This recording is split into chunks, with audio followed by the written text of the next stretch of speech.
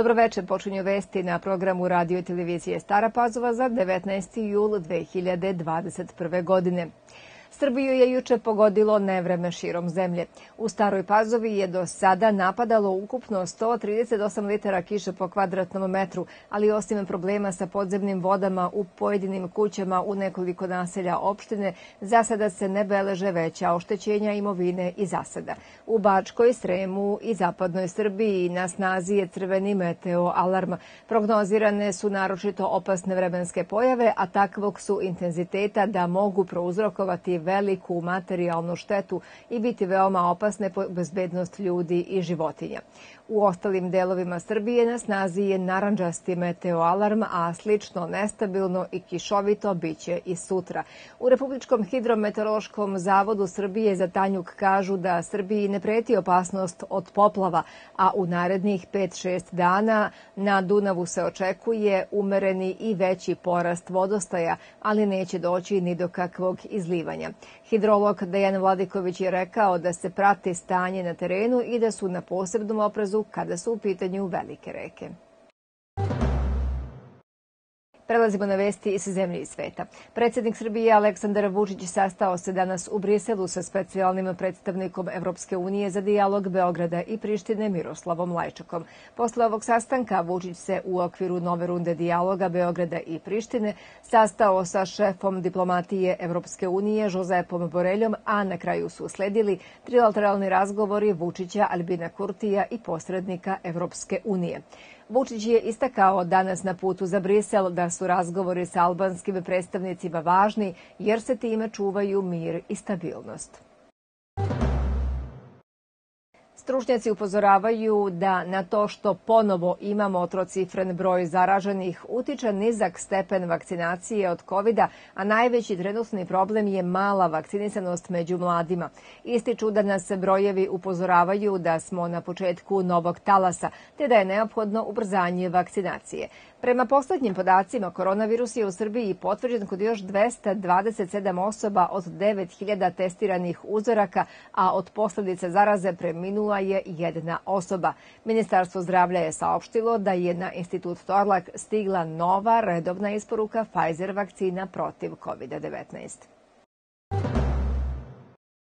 Pripadnici Ministarstva unutrašnjih poslova Uprave saobraćene policije u periodu od 19. do 25. jula ove godine sprovode akciju pojačane kontrole saobraćaja usmerenu na otkrivanje prekršaja koje čine vozači teretnih vozila i autobusa. Ova akcija sprovode se u 30 evropskih zemalja koje su članice organizacija Road Pol, mreže saobraćenih policija Evrope. Tokom sprovođenja akcije vršit će se kontrola posjedovanja propisane dokumentacije za vozila i vozače, tehničke ispravnosti vozila, psihofizičkog stanja vozača, kao i poštovanje propisa o radnom vremenu vozača i korišćenju propisanih odmora i pauza. Ministarstvo unutrašnjih poslova poziva građane da ukoliko posumnjaju u tehničku ispravnost autobusa kojim se prevoze ili u psihofizičko stanje vozača usled umora ili alkoholisanosti, o tome odmah obaveste upravu saobraćajne policije. Na akciji dobrovoljnog davanja krvi u nedelju u Novoj Pazovi prikupljeno je 56 jedinica krvi, a pet osoba nije iz zdravstvenih razloga moglo da donira krv. Sljedeća redovna akcija u organizaciji Pokrajinskog zavoda za transfuziju krvi i Crvenog krsta biće 29. jula u centru Stare Pazove, gdje će biti postavljen transfuzio mobil. Inače, Narodna biblioteka Dositej Obradović iz Stare Pazove sa svojim ograncima podržava akcije dobrovoljnog davanja krvi tako što svim dobrovoljnim davaocima daruje besplatnu godišnju članarinu. Od danas na sajtu Pokrajinskog sekretarijata za obrazovanje, propise upravu i nacionalne manjine nacionalne zajednice dostupan je e-kalendar na kome će korisnici moći da vide prikaz radnih i neradnih dana kada su državni i verski praznici, početak i kraj polugodišta. Kako se navodi u saopštenju pokrajinske vlade u okviru tog kalendara za školsku 2021-2022 godinu, korisnici će imati uvid u datume probnog i završnog ispita i raspored radnih subota za sljedeću školsku godinu. U subotu je na letnjoj sceni Hrvatskog kulturno-prosvetnog društva Tomislav u porti Katoličke crkve u Golubincima održan koncert tamburaškog sastava Ladan Špricer povodom desetogodišnjice njegovog rada i postojanja. Uprkos kiši, članovi ovog orkestra pružili su prisutnima uživanje u najlepšim tamburaškim pesmama i melodijama.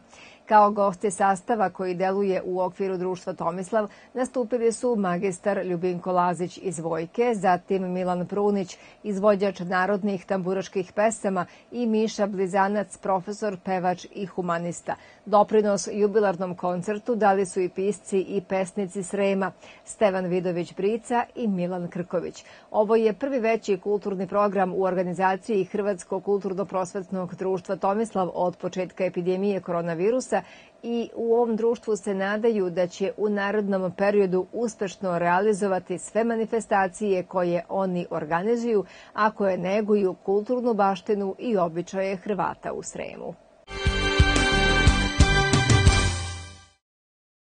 Stigli smo i do sporta. Ženska odbojkaška reprezentacija Srbije do 20 godina osvojila je srebrnu medalju na svetskom prvenstvu, pošto je u Rotterdamu u finalu izgubila od Italije sa 3-0. Naše mlade odbojkašice tako su ponovile uspeh iz 2005. godine, kada su također osvojile drugo mesto na prvenstvu sveta, a tada su u finalu izgubile od Brazila. Nena Kurtagić, bloker Srbije, proglašena je za najboljeg blokera turnira. Za juniorsku reprezentaciju nastupile su i odbojkašice jedinstva iz Stare Pazove, Isidora Kockarević, Branka Tica i Minja Osmajić, kao i Vanja Savić, koja je donedavno branila boje jedinstva.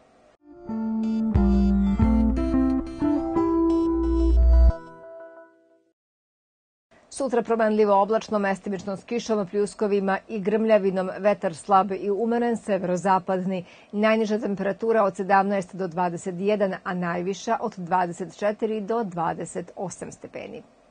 Toliko u vestima, hvala vam na pažnji.